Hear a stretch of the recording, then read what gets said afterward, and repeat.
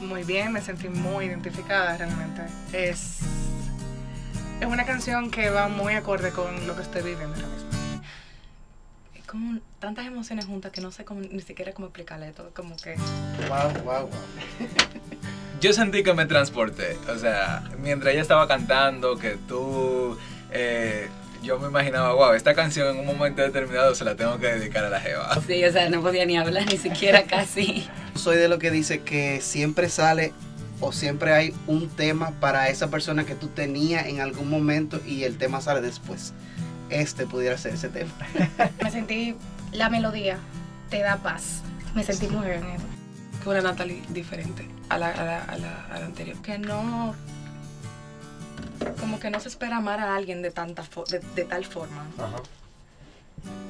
Ya yo me la sé. Al principio como que, que Natalie estaba leyendo mi mente. O sea, como es la canción perfecta que yo le quiero dedicar a mi pareja, porque eh, principalmente cuando ella dice como que no me pregunte por qué, pero eres tú. Porque muchas veces pasa que la pareja pregunta, pero ¿por qué tú me escogiste a mí? No preguntes, yo no sé, eres tú.